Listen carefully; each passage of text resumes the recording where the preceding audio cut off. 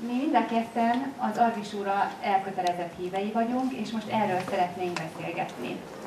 Az Arvisúrát így kívülről bemutatnám, hogy hogy néz ki. Ez így néz ki, Pál Zoltán által írt Arvisúra.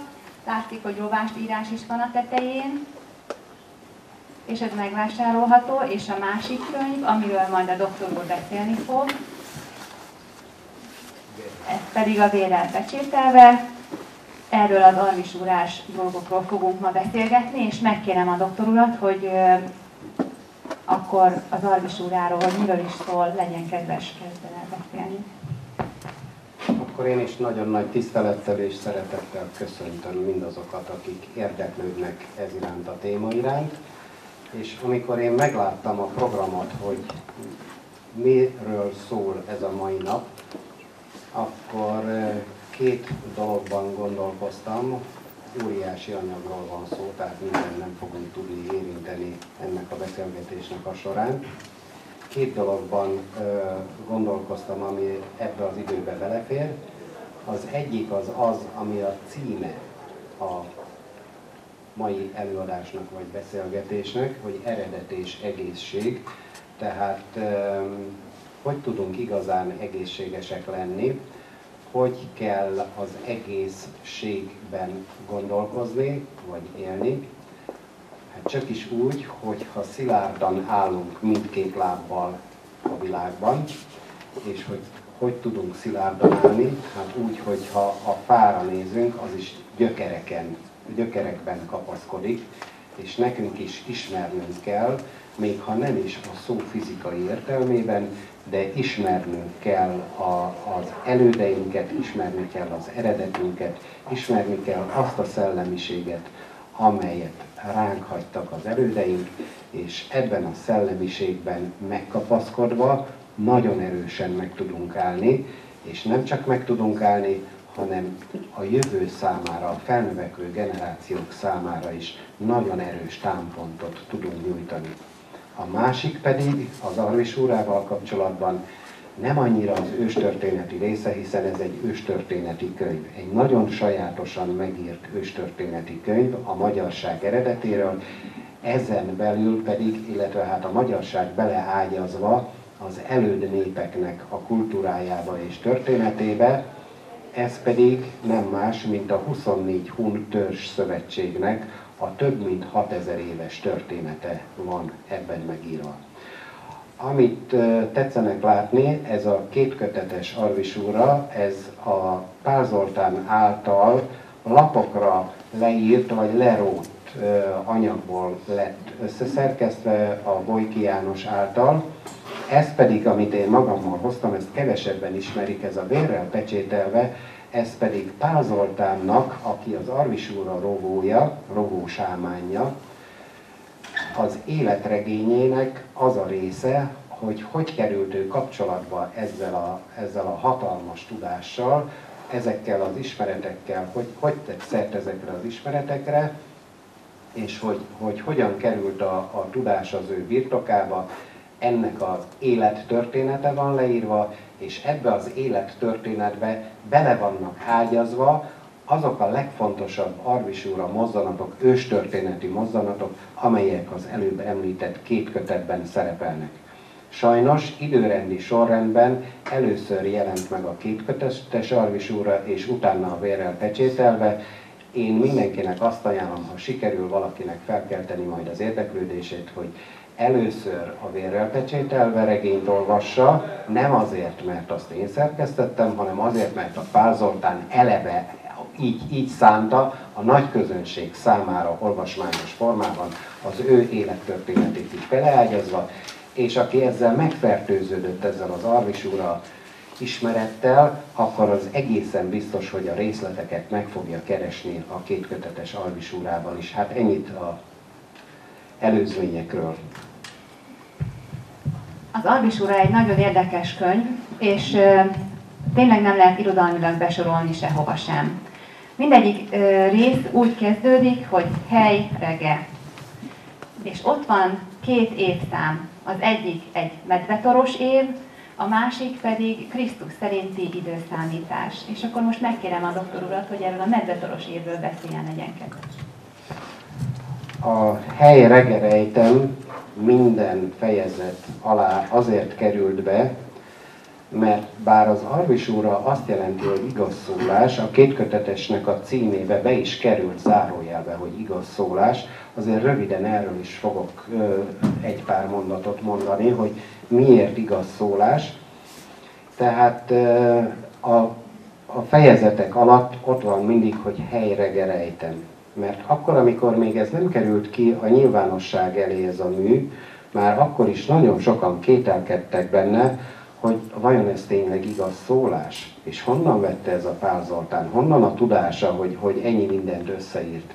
És, és nagyon-nagyon sokan rendkívül kritikusan, sőt, eleve egy szembefordulással, averzióval vannak a mű iránt, és nagyon sokan egészen súlyos elítélő mondatokat mondanak erről a könyvről, egészen odáig, hogy ez egy kóros elme torszüleménye, ez egy téveszmerendszer, és hát ö, olyanok is vannak, akik azt mondják, hogy ez a, ez a beprogramozott agyú ember, ez a Pál Zoltán, ez a KGB a hatása alatt mindenféle ilyen agymanipulációk hatására írta meg ezt a könyvét, elképesztő dolgokat tudnak mondani a műről, anélkül, hogy ismernék. Én mindig azt szoktam mondani, hogy először el kell olvasni a művet, engedjenek meg itt zárójelben egy mondatot. Amikor, amikor Kertész Imre Nobel-díjat kapott a regényéért, akkor sokan felháborodtak és mondtak ezt, mondtak azt, és, és kérdezték, hogy nekem mi a véleményem. Mondtam, hogy még nem olvastam, majd először elolvasom, és hogyha én, én nagyon alaposan átnéztem és, és áttanulmányoztam azt a regényt, majd akkor fogom elmondani a véleményemet, ez úgy is lett, zárója bezárva, nem erről akarok beszélni. Tehát csak azért hoztam fel példának, hogy, hogy igenis bele kell nézni, el kell kezdeni olvasni, és aki egy picit is fogékony, egyrészt a, a magyar őstörténetre, másrészt szellemi, lelki síkon emelkedettebben tudja értelmezni mindaz, mindazokat a, a történeteket, amik itt le vannak írva, akkor egy olyan szellemi táplálékot kap, amely szellemi táplálék mint egy iránytű útmutató lehet neki sok minden létkérdésnek a feldolgozásában, a, a, a megoldásában. A válaszokat egészen másképp fogja kapni a mai világról is, mint hogyha ha ezt a művet nem ismerné. No de akkor a kérdésre válaszolva, hogy igen, tulajdonképpen a történet maga, a 24 Hun Törzszövetség története egy medvetorral kezdődik a történet alapján. Az őstörténet maga régebbre megy vissza, a kétkötözes Arvisúrában ezekről a dolgokról is szó van, elsősorban a elsüllyedt földrész Ataisznak a legendájáról, egyáltalán arról, hogy milyen földrészek volt, nem így néztek ki a, a földrészek, mint a, a, a mai globuszon, és egyáltalán hogy kerültek ide az emberek, kik ők, kik vagyunk, kik voltak a mi őseink. Ez a, nem csak a magyaroknak, nem csak a hunoknak, ez az egész emberiségnek az őstörténete is benne van és le van írva, de onnantól kezdve, hogy 24 huntörs szövetsége, ez Krisztus előtt 6040-ben visszafelé menet történik. Tehát olyan hatalmas idő, amelyre a kultúra mai és a tudomány mai állása szerint nincs példa. Nem tudunk olyat mondani, hogy több mint 6000 évre visszamenőleg bárkinek is lenne olyan történelme, amelyre hivatkozni lehet. Még egy, egy mondatban visszautalva arra, hogy Pál Zoltánt mikkel vádolták, hogy, hogy mennyire kóros és, és téves eszmerendszer az ő műve, én orvosként is próbáltam ezt a kérdést megközelíteni. Egy orvos abszolút természettudományos szemléletben nevelkedik, és abban éli le az életét. És bizony nekem is gondot okozott az, hogy, hogy bizonyos történeteket, bizonyos eseményeket, bizonyos véleményeket hogyan értelmezhetek helyesen, hogy lehet azt a természettudományos szemlélettel összeegyeztetni. A válaszom egyértelmű.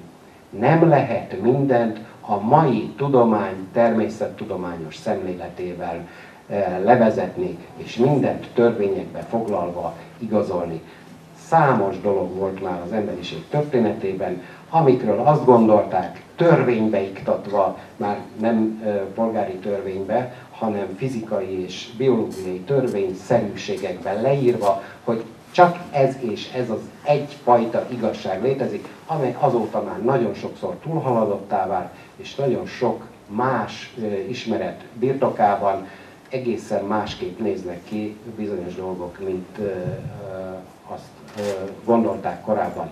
Tehát az a lényege, hogy igaz szólás, és ez az igaz szólás gyűjtemény, ez az első medvetor szertartásáig nyúlik vissza. Most szeretnék közbeszólni, mert én is elkezdtem kétkedni, ahogy elkezdtem olvasni ezt a könyvet. Olyan mesének tűnt, aztán nagyon sok olyan nevet, földrajzi helyet találtam, ami ismerősnek tűnt. Gyorsan elővettem a történelmi világatlaszt, a földrajzi világatlaszt, és megkerestem, hogy van olyan, hogy van tó. Hát hogy ne lenne van tó?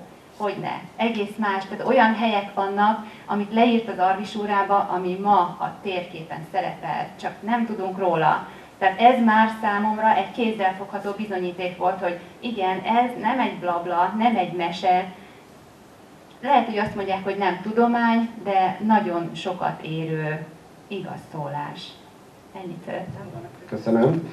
És akkor ehhez kapcsolódva, ma már nagyon sokan foglalkoznak az Arvisúrával, könyveket írnak róla, előadásokat tartanak sok helyen az országban én abban a szerencsés helyzetben vagyok, hogy abban a városban éltem viszonylag sokáig, ahol Pál Zoltán, aki lerótta ezt a csodálatos művet, ez Ózd városa. Én orvosként a véletlenek sorozatán keresztül, de tudjuk, hogy véletlenek nincsenek, csak szükségszerű, törvényszerű véletlenek vannak, tehát teljesen véletlenül idézőjelbe elkerültem az Ózdi Kórház belgyógyászati osztályára, és ott kezdtem a pályafutásomat, de sokan azt mondják, hogy mint betegem úgy ismertem meg Pázoltánt. Ez nem igaz. Pázoltán nem volt egy beteges ember, nem is nagyon járt orvoshoz, hanem, hanem engem érdekelt a magyar őstörténet, és érdekelt az a, az a lelkiség, az a szellemiség, amely ebben a műben található, csak akkor még nem tudtam, hogy ez valakinek a birtokában van ez a tudás kutattam utána, és hogyha visszamenőleg is megnézem a saját otthoni könyvtáramat, akkor rengeteg olyan könyvet találok ebben, a, amely könyvek a hasonló témakörben próbálják megfejteni az igazságot. Na de amikor, amikor elolvastam Molnár Gábor írónak aki Dél-Amerika kutató volt, és nem annyira szép irodalmat, mint inkább útleírásokat írt. Mongóliában járt, és, és ennek a élményeiből írt egy könyvet, Négy hágó sziklavadonában. Ez a címe a könyvnek. És ennek az ötödik fejezetében találhatók már bizonyos szemelvények az Arvisúrával, amelyeket ő összekapcsolt a mongóliai élményeivel. És akkor rácsodálkoztam, hogy jé, ez az, ezt keresem. És akkor írtam egy levelet a Molnár Gábor író úrnak, és kértem, hogy adja meg ennek az embernek a nevét és a címét, mert úgy érzem, hogy ez az ember itt van valahol a közelemben. Azonnal jött rá a válasz, hogy őt pedig az lette meg, hogy én ráéreztem arra, hogy itt van a közelemben, hiszen egy városban élünk, csak eddig nem tudtunk egymásról.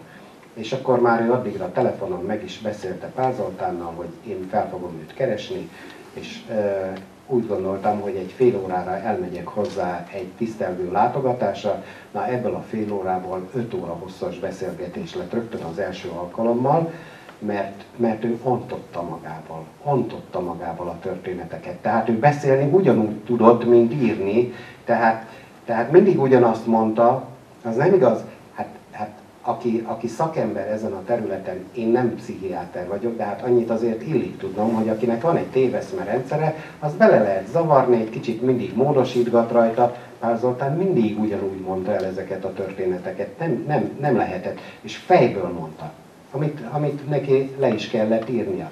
Honnan van ez a tudás? Hát részben le van írva az élettörténetében, hogy honnan kapta, de ő maga elmondta, hogy ezt felülről kapja ezt a tudást. És akkor én meghajoltam a természettudományos szemléletemmel előtte, és azt mondtam, hogy ez egy olyan hallatlan emberi nagyság, hogy ezt nem lehet másképp megmagyarázni, nem lehet másképp elfogadni, csak úgy, hogy igen, föntről jön ez a tudás valahonnan, mert egyébként lehetetlen ilyen dolgokat kitalálni. És én őtőle is kérdeztem, a fiától kérdeztem, később az egész családdal nagyon jó viszonyba kerültem, kérdeztem, hogy, hogy nincs ebben valami svindli ebbe a dologba? Nem szedi ezeket össze valahonnan, könyvtárakba járva, innen, onnan, nem ollózza, mert ez a, ez a támadás is sokszor érte Pál Zoltánt. És a, a fia mosolygott rajta, azt mondta, ez már az édesapja halála után volt, azt mondta, hogy ő fordítva látja. Ő úgy látja, hogy egyre többen az úgynevezett tudósok, tehát a szakemberek közül nagyon sokan olyan dolgokat fedeznek fel, amiket az ő apja már korábban réges-régen leírt. Azóta nekem erre konkrét bizonyítékaim vannak. Tehát ugye biztos ismeri a hallgatóság, vagy hallomásból tudja a kurultájt, amit a, a Bíró András Zsolt szokott szervezni. A kurultájnak az a lényege, hogy, hogy a magyarok ősei újra találkozhassanak egymással. Na most először csak két mondjam úgy, hogy nemzet vagy nemzetiség találkozóját hozta össze.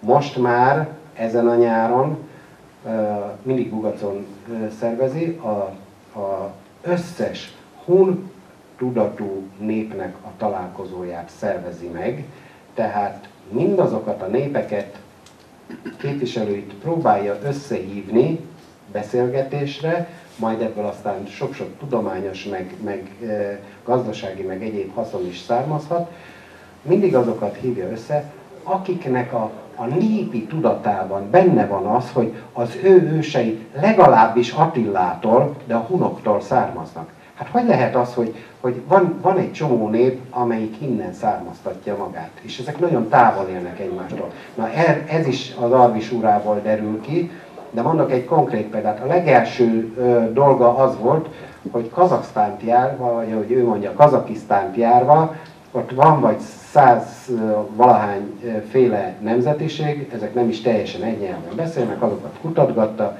és akkor mondták neki, hogy igen ám, van itt egy törzs, amelyik magát magyarnak vagy magarnak mondja.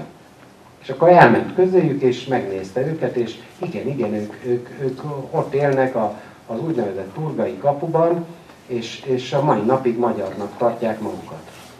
Azt mondtam Bíró András Zsoltak, egyszer volt vele szerencsém élőben beszélgetni, azt mondtam neki, ehhez nem kellett volna kutatgatni a kazakisztániak között, hanem el kellett volna olvasni az alvisórát, mert abban le van írva, hogy az eszék törzsbéli tomaj nemzetsége, amikor, amikor a, a magyarok bevonultak mondjuk úgy, hogy a harmadik honfoglalás alkalmával bevonultak a Kárpát-medencébe, akkor ez a törzs, ez visszamaradt, mert nekik az volt már korábban is a, a, a feladatuk a, a Hun birodalomban, hogy egy ilyen felvigyázó útkereszteződésben lévő felvigyázó szerepet biztosítsanak, és ezek ott élnek a mai napig is a turgai kapuban, és, és a mai napig magyarnak mondják magukat. Ez le van írva. Mind ebben is, meg, meg azokban is le van írva.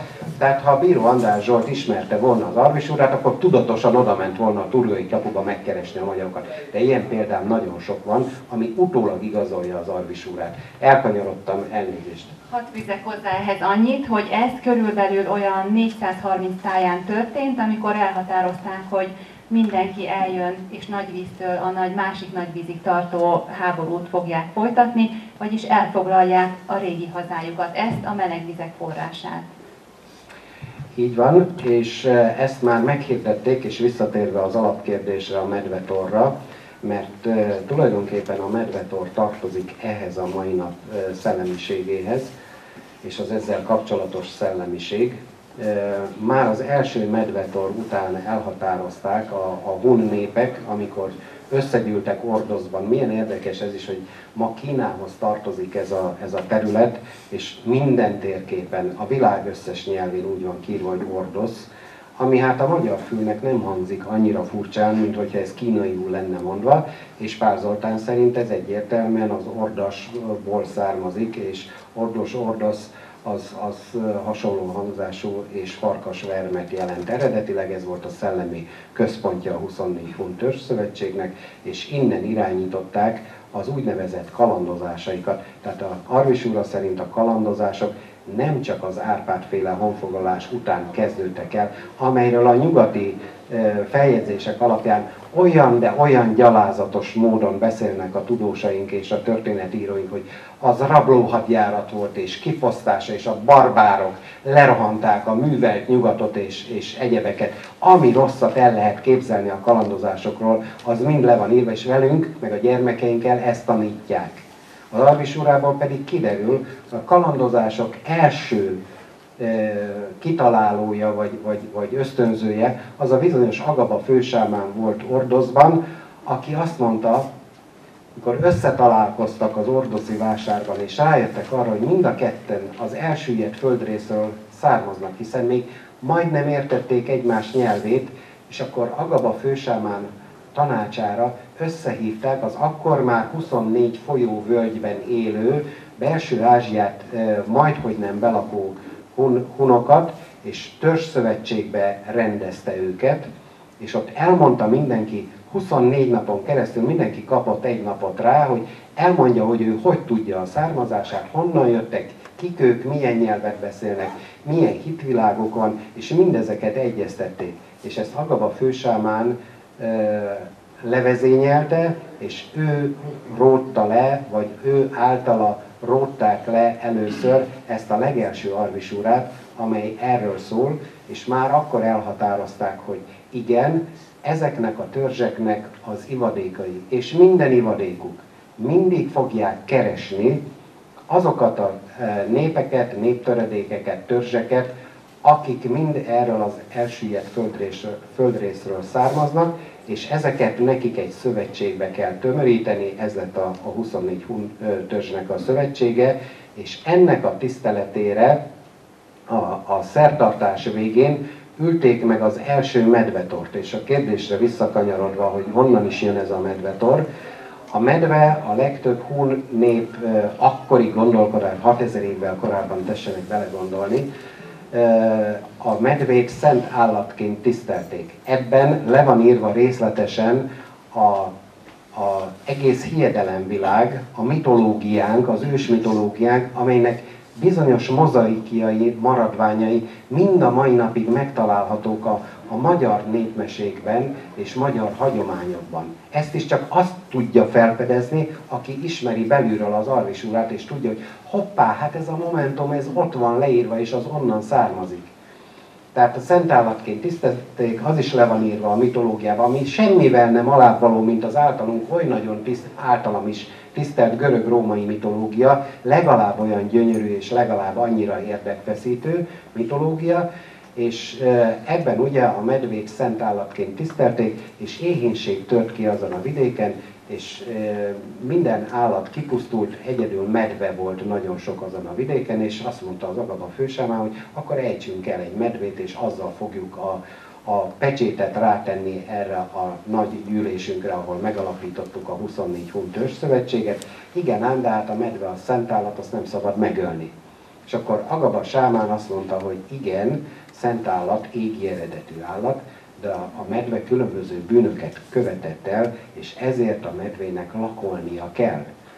És mivel, mivel sok bűnt követett el, ami az Isteneknek sem tetszik, ezért nyugodtan megölhetitek, nyugodtan fogyaszthattok belőle. Sokáig a 24 Huntőrs Szövetségnek ezért a medvehús lett a fő tápláléka, ennek az első medvetornak a tiszteletére. Hogy miért tor? Azért, mert Azért, mert azt mondta a Gaba fősámán, hogy megrendezzük ezt a lakomát a, a szertartás tiszteletére, de mivel tényleg égi eredetű a medve, ezért ki is kell engesztelni az ő lelkét, mert ha a lelke visszaszáll az Istenekhez, akkor bepanaszolja az embereket, hogy őt szent állatként elpusztították. Tehát ez a kettősség végigvonul benne, hogy igen, bűnös állat a medve, ezért elpusztítható, de azért mégiscsak ki kell engesztelni valahogyan, és ennek a, a, a emlékére, vagy, vagy ennek a hatására ülték meg az első medvetort, és medve években, azaz medve evésekben számították onnantól kezdve az időszámításokat, és ez valóban a legutóbbi időkig az Arvisúrán végigvonul, hogy mindig benne van a medvetoros, a medve evéseknek a száma is, meg mindig benne van a Krisztus szerinti, Krisztus születése szerinti időszámítás szerinti évszámok is jelölve vannak benne a könnyebb eligazolás kedvéért. Egyetlen kiegészítést hozzá. Vajon tetszenek-e tudni, hogy a Kárpát-medencén kívül hol van még a világon olyan nép vagy nemzet, amelyik a fő táplálék állatát még a közelt múlt, közelmúltban is toron ünnepelte meg. Mi volt a magyar embernek a legutóbbi időkig is, amíg nem lettek globalizált termékek, ahol ugye a disznó. És mit, mit csinált a magyar ember falun mindig? Disznótort. Disznótort ült és mivel a medvét, medvét azon a nyelven abának, azaz kegyesnek hívták, ez benne van nem csak az Arvis a képes krónikában is le van írva, hogy Abba Sámuelt azért nevezték el abának, mivel kegyes volt.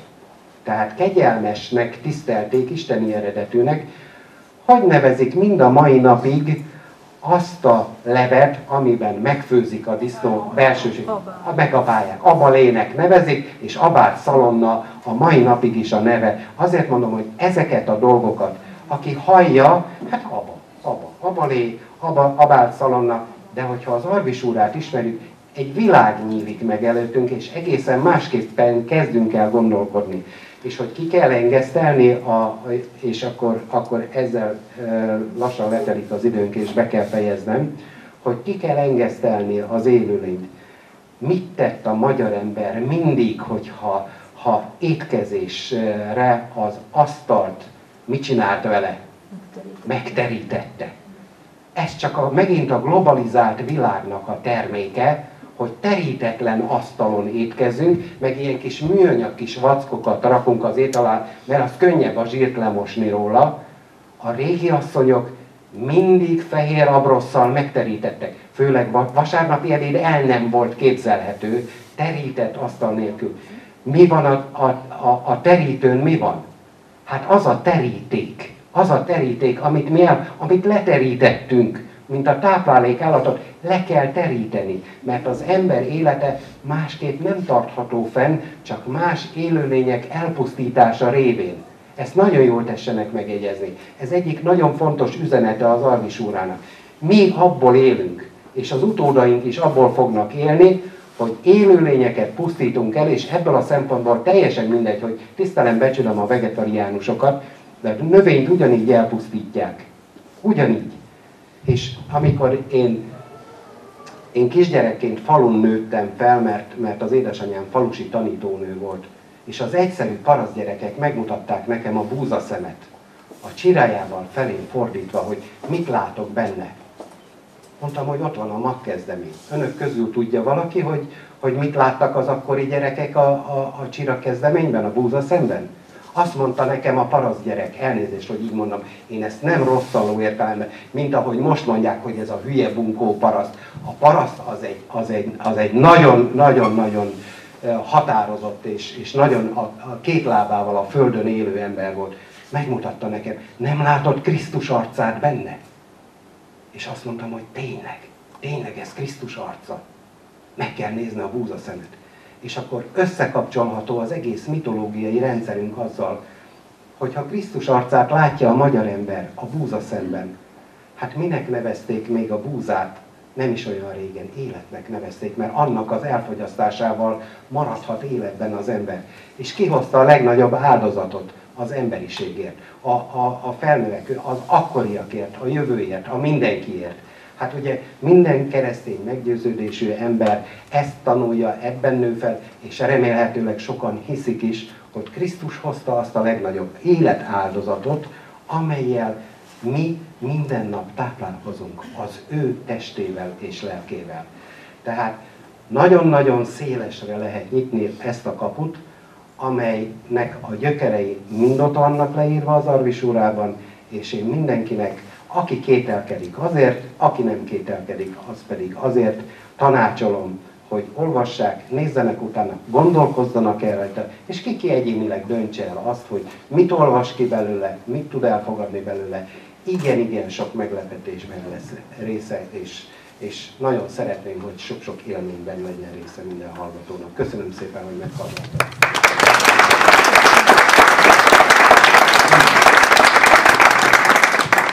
Nagyon szépen köszönöm a doktor úrnak ezt az érdekfeszítő tájékoztatását. Ez csak egy csipetnyi volt az alvisúrából.